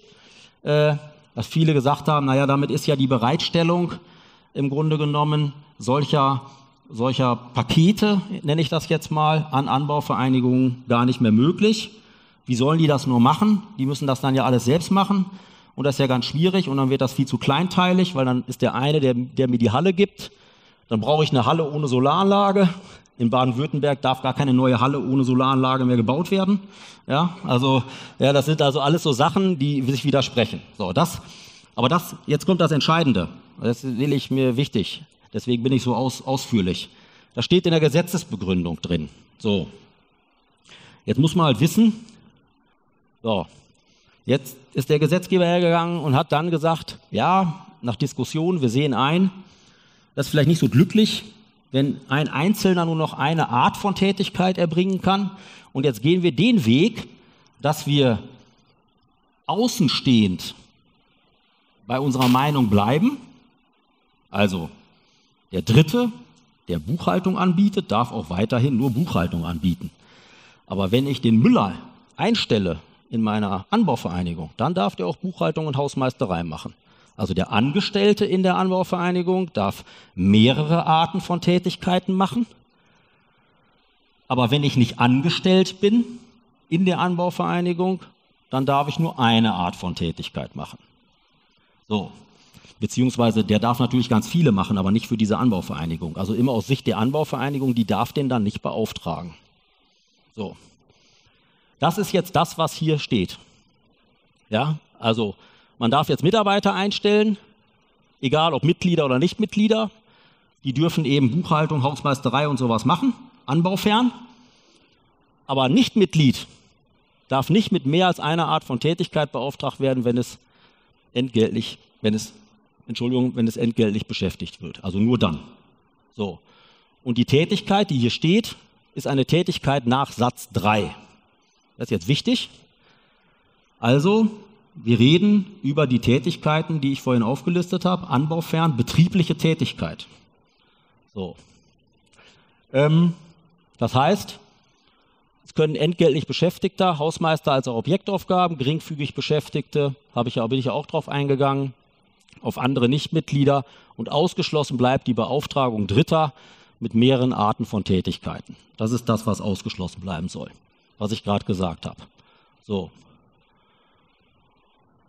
Jetzt kommt, das habe ich gerade alles schon gesagt, das ist nicht wichtig. Ich will jetzt auf einen ganz wichtigen Punkt hinaus. Und zwar fängt er da an, bei den einheitlichen Begrifflichkeiten. Und da muss man zurückgehen in die Entwicklung der Vorschrift. Wie ist es überhaupt dazu gekommen? Die Gesetzesbegründung, die ich gerade vorgelesen habe, mit Hausmeisterei und diese Beispiele, sind aus der ersten Fassung. Da war also von Vermietung, Energie und all diesen ganzen Themen noch überhaupt nicht die Rede. Dann wurden diese Betreibergesellschaften angedacht von etlichen und die waren danach auch, auch möglich. So. Ähm, dann ist ja der Bundesrat hergegangen und hat gesagt, wir wollen das so nicht. Das ist immer mein Arbeitspapier, ist ein bisschen bekritzelt, aber das ist die Bundestag, Bundesratsdrucksache ähm, 92.124 vom 11.3. Und da hat der, der, Bundesrat gesagt, es ist sicherzustellen, dass etwaige Vertragspartner bei der Anbietung von Objekten zum Zweck des Anbaus nicht zugleich Vermieter, Energielieferanten oder für Objektsicherheit verantwortliche Personen sein können. Diesen Satz, den habe ich ja gerade schon mal vorgelesen, der stand hier zum ersten Mal drin vom Bundesrat vor Verhandlung der Protokollerklärung. Dann hat man die Protokollerklärung verhandelt und dann hat man Folgendes gemacht. Da hat man den Satz auch abgeschrieben der hier drin steht, in der Bundesratsdache, und hat jetzt folgenden Satz davor geschoben. Zudem wird klargestellt, welche Tätigkeiten Anbauvereinigungen nicht an gewerbliche Anbieter auslagern dürfen. So. Und jetzt wird es ein bisschen spitzfindig, aber meine ich ganz wichtig. Jetzt ist nämlich hier was passiert, dass hier der Gedanke der Auslagerung vor den Gedanken des Bundesrats gesetzt wurde. Und diese beiden Sachen, die passen eigentlich gar nicht zusammen. Nämlich, man hat jetzt durch die Auslagerung und durch die Regelung in Paragraph 17 hat man im Grunde diesen Punkt, dass also vor allen Dingen Dritte nicht mit mehreren Tätigkeiten beauftragt werden können, äh, das ist ja geregelt. Das sind nämlich Tätigkeiten, die ausgelagert werden. Wenn ich die Buchhaltung nicht einen anderen machen lasse, muss ich sie selbst machen. Das ist eine betriebliche Tätigkeit. Eine Bank hat eine interne Revision, mache ich nicht selbst, gebe ich raus. Also betriebliche Tätigkeit.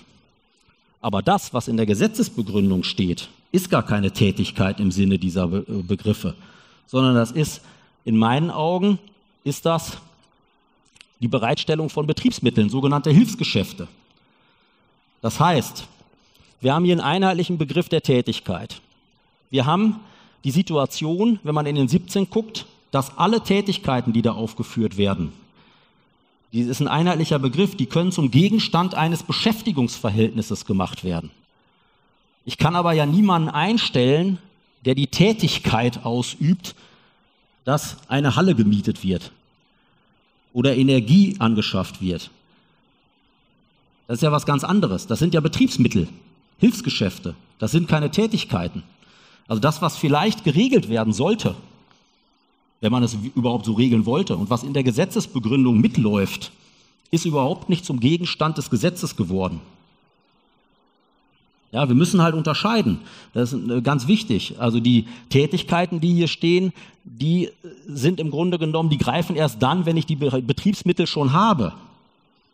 Aber ich kann ja nicht äh, eine Energiebeschaffung oder das, äh, den Einkauf, äh, sag ich mal, die, die, wenn ich jetzt jemanden beauftrage, dass er mir Kopierpapier liefert oder dass er mir einen Schreibtisch liefert, das ist ja nicht Gegenstand eines Beschäftigungsverhältnisses. Das sind ja zwei völlig verschiedene Paar Schuh. Und die wären ja im Zweifel hiervon erfasst, weil der Gesetzgeber äh, kann ja nicht, hat es ja auch nicht gemacht. Er hat ja nicht äh, es wirklich auf diese wenigen Dinge irgendwie reglementiert, sondern wenn das so wäre, dass die Betriebsmittelversorgung äh, davon umfasst wäre, ja, dann könnte ich mir ja nicht mal in, in einem Bürogeschäft äh, einen Schreibtisch und Papier kaufen. Äh, müsst ja sagen, ja, Papier kommt in Kopierer und ein Schreibtisch, da sitze ich dran. Das sind ja zwei unterschiedliche Arten von Tätigkeiten und deswegen kann ich die nicht kaufen in dem Laden. Also das ist, also das, das ist vom Gesetz nicht erfasst. Das also, ich habe da jetzt schon so oft drüber nachgedacht. Wir haben das in der Kanzlei hoch und runter diskutiert. Äh, ähm, also ist unsere, nicht nur meine, das ist eigentlich gar nicht richtig, das ist unsere Meinung, dass das äh, vom Gesetzgeber vielleicht geregelt werden sollte, aber durch die, äh, ja, durch die Art der Regelung und durch die Begrifflichkeiten und und und ist es gar nicht geregelt worden. Und man muss ja da auch Sicherheit haben, muss ja auch klar abgrenzen können, ne? muss ja wissen, was sind Tätigkeiten und die definiert er ja. ja. Insofern meine ich, ist es zulässig, von jemandem Energie und eine Halle äh, anzumieten und den damit zu beauftragen, das aus einer Hand anzuliefern, weil es von Paragraph 17 überhaupt nicht erfasst ist. Ja. So, jetzt habe ich Sie total gequält, das tut mir leid. Mal Wasser nehmen.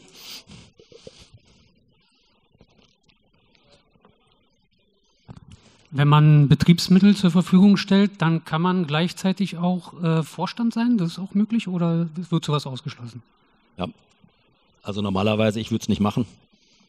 Also ja, also man kann natürlich, äh, also da muss man, da muss man zumindest Mitgliederbeschlüsse äh, zum Beispiel, sich, also Mitgliederversammlungsbeschlüsse würde ich mir ein, oder wäre ich sehr vorsichtig, wenn ich solche Geschäfte mache. Ich kann das theoretisch rechtlich tun.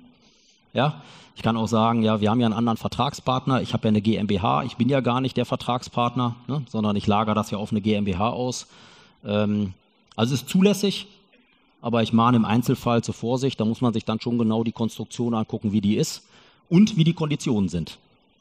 Wichtig ist immer in so einem Fall, wenn man es macht, äh, dass man dann auf jeden Fall diesen äh, Drittvergleich, die Marktgerechtigkeit unbedingt beachtet und den auch belegt. Ja, das ist genauso für die Gehaltszahlung an den Vorstand. Ja, da würde ich unbedingt äh, entsprechend vorher auch Marktvergleichsdaten einholen und das dokumentieren, äh, warum der Vorstand jetzt so und so viel Geld verdient.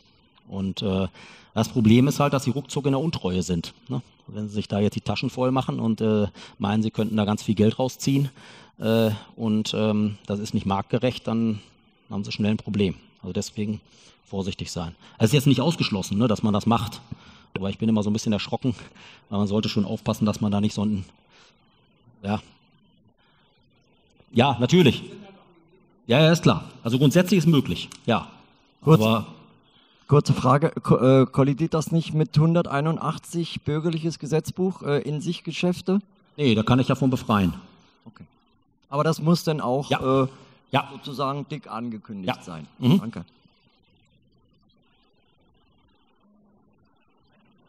Äh, ja, die Frage ist bei diesen In-sich-Geschäften und so, die Frage ist dass ich auf zwei Seiten auftrete. Ne?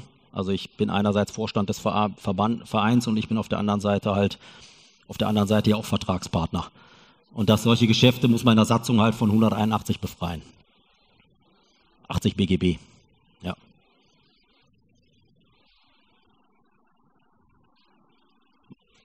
Äh, ja, ähm, ein Vereinsmitglied darf ja als Buchhalter oder auch in sonstigen Tätigkeiten mhm. eingesetzt werden. Und ein Vereinsmitglied äh, darf und sollte er auch schnipsen, ehrenamtlich. Äh, oder wie sieht das geregelt? Darf ich einen Buchhalter einstellen, der so circa 1% seiner Zeit äh, buchhaltert und äh, sonst eigentlich schnipst? Was soll ich dazu sagen? Also Mitglied bleibe ich immer. Wenn ich Mitglied bin, bin ich Mitglied und ich habe immer diesen, diese Mitwirkungspflicht. Die endet nicht, wenn ich als Buchhalter eingestellt werde. Dann habe ich die trotzdem.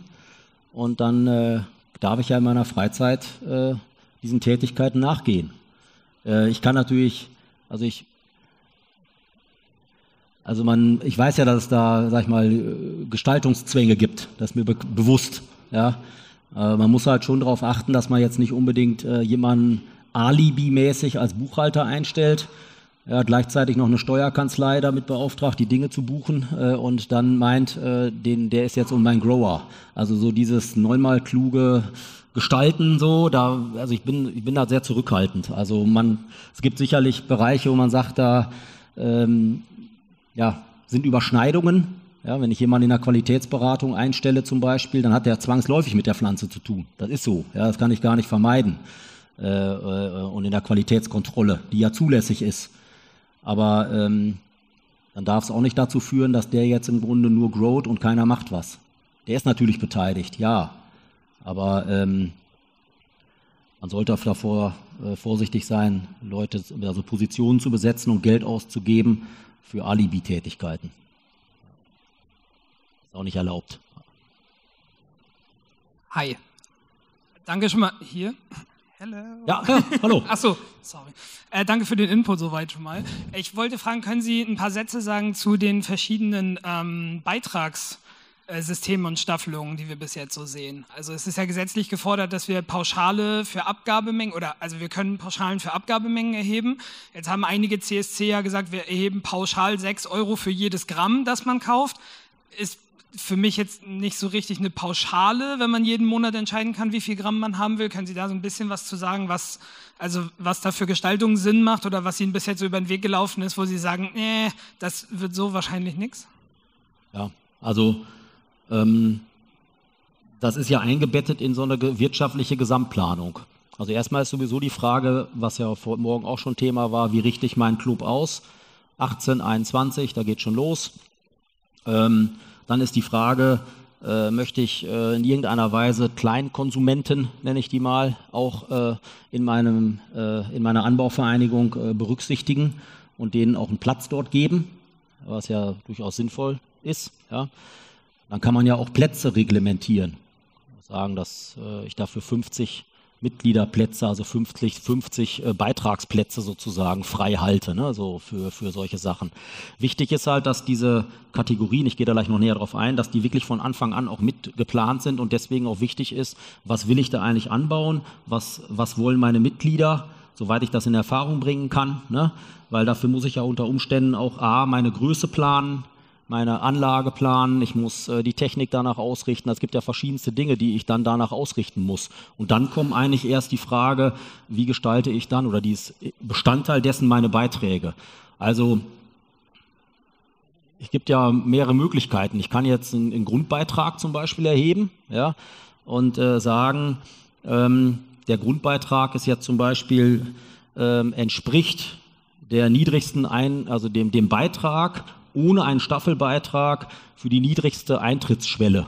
Also ich habe jetzt zum Beispiel eine Schwelle bis 10 Gramm, sagen wir mal, und ich erhebe einen Grundbeitrag und dann kommt nichts mehr dazu für die, die bis 10 Gramm nehmen. Und dann gibt es eine Kategorie bis 20 Gramm zum Beispiel. Und dann ähm, kann ich damit aber wirtschaften.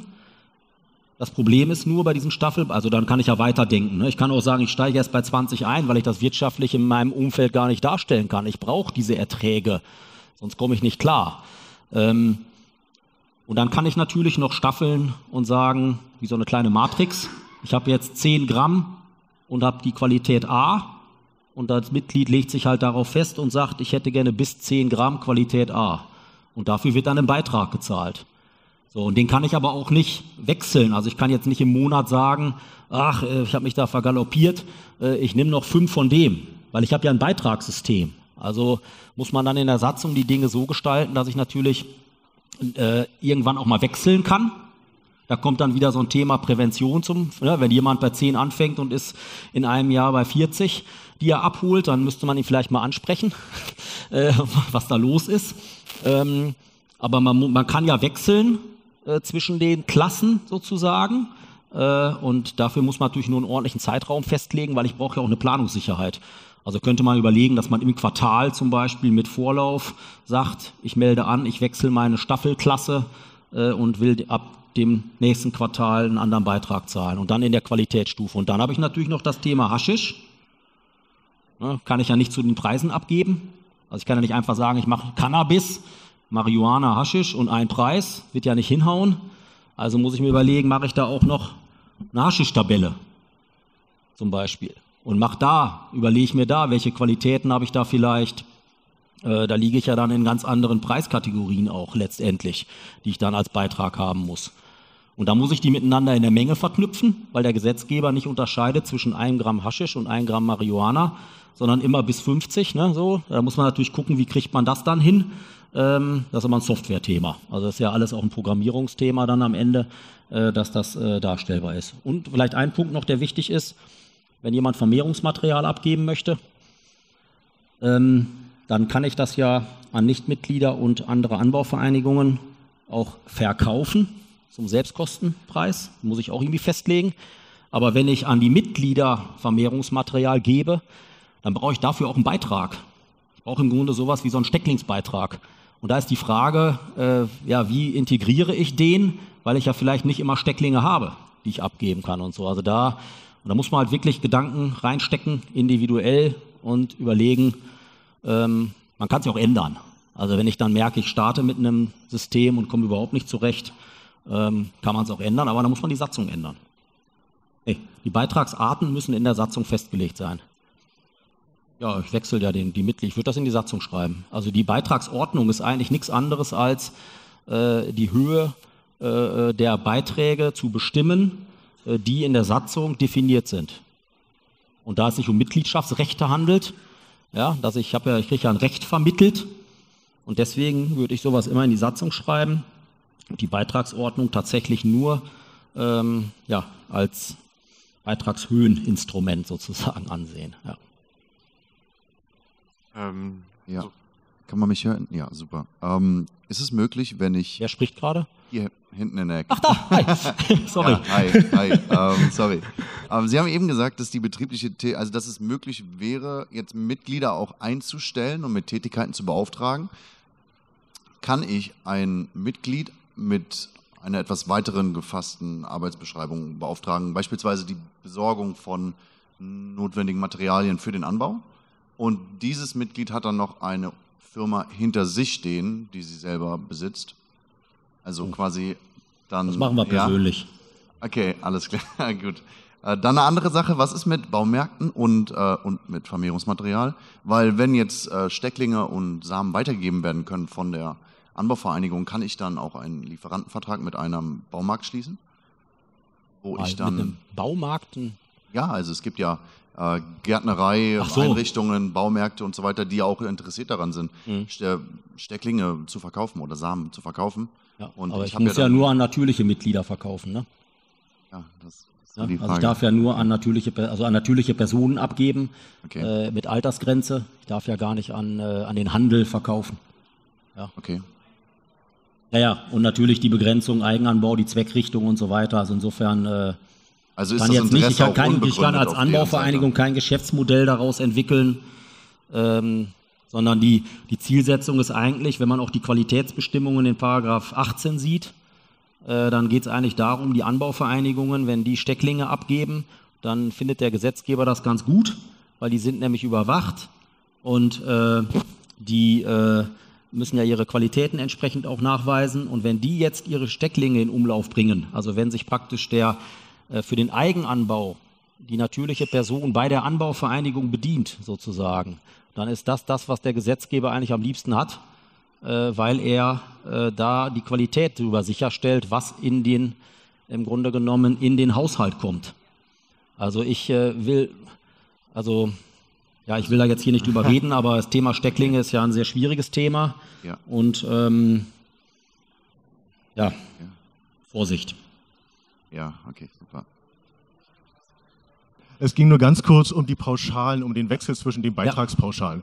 Ja. Ist auch ein Modell denkbar, quasi, dass es einen Automatismus gibt, dass man immer am Monatsanfang auf die erste Beitragspauschale zurückfällt in diesem Modell und quasi so dann individuell sich doch seinen Bedarf zusammenstellen kann und nicht fest immer an eine bestimmte Beitragsstufe gebunden ist, die man dann aktiv nur im bestimmten Zeitraum ändern muss?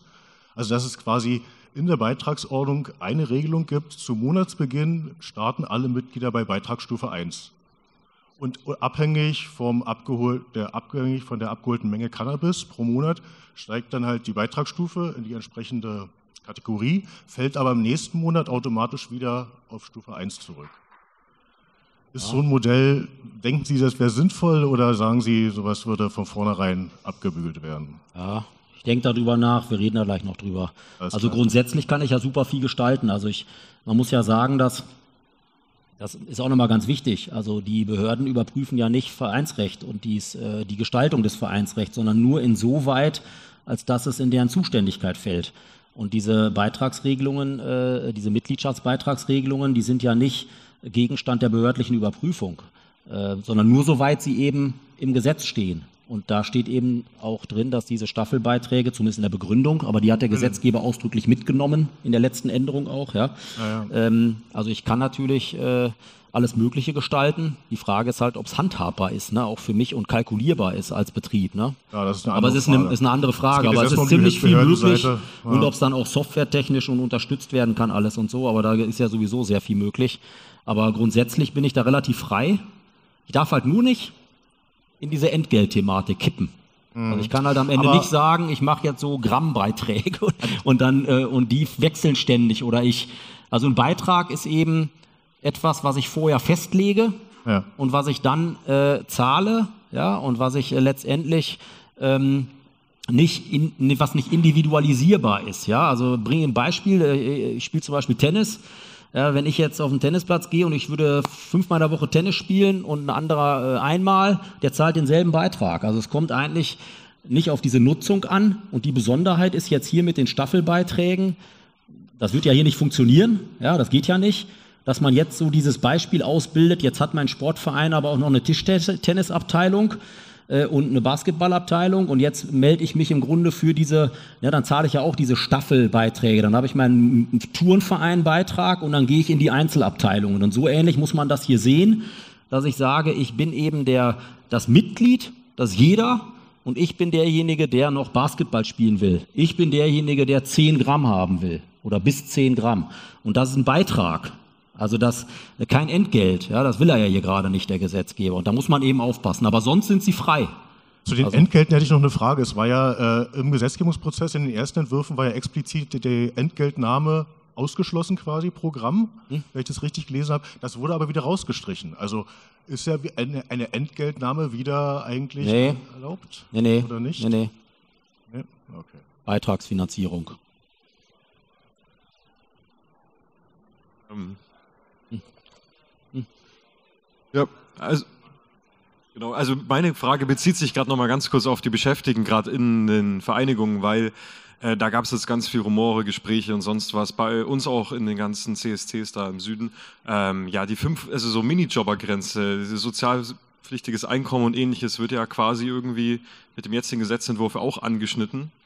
Ähm, wie wo soll man das denn dann lösen, wenn ich sage, ich kann den Leuten gar keine krassen, großen Gehälter auszahlen, dass ich sage, ich, gut, ich muss jetzt mit 30 Leuten zum Beispiel einen Anbau strukturieren für 500 Mitglieder. Ähm, und wenn ich jetzt so Sie habe reden hören, dachte ich, vielleicht gibt es da doch irgendwelche Möglichkeiten, zumindest für die nicht an der Pflanze beschäftigten Mitglieder, Gehälter über 540 Euro vielleicht Ja, zu das ist erhalten. ja so. Der Buchhalter kann ja normales Gehalt bekommen. Aber wenn er Mitglied ist, so wie wir den Gesetzestext laut Juristen ausgelegt bekommen haben, hieß es Nein. quasi Mitglied heißt Punkt, Ende. Nein, nein, nein, nein, nein. Die Frage ist, welche Tätigkeit er ausübt. Das ist ja hier vorne. Moment, ich gehe nochmal zurück. Äh, Sie dürfen sonstige entgeltlich Beschäftigte unabhängig davon, ob Mitglieder oder Nichtmitglieder sind. Also das ist jetzt der Stand vom allerletzten Gesetzestext. Okay, gut. Dann haben wir wahrscheinlich unsere juristische Expertise älter. Ne?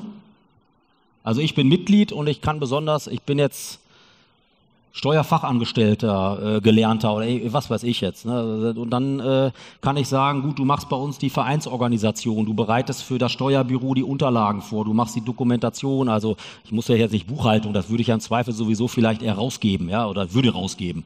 Aber solche vorbereitenden Tätigkeiten, ne, das ist ganz normale Bürokraft, Büroorganisation, Dokumentation, das kann man ja jemandem übertragen, der Mitglied ist, wenn er es kann. Okay, also das heißt kurz gesagt, nur Laden und Anbau quasi bleibt bei den 540 Euro und der Ja, Rest. genau, der. Anbau ne, und diese anbaunahen Tätigkeiten, so, die wir ja gerade beschrieben haben, und die Weitergabe natürlich auch, ne?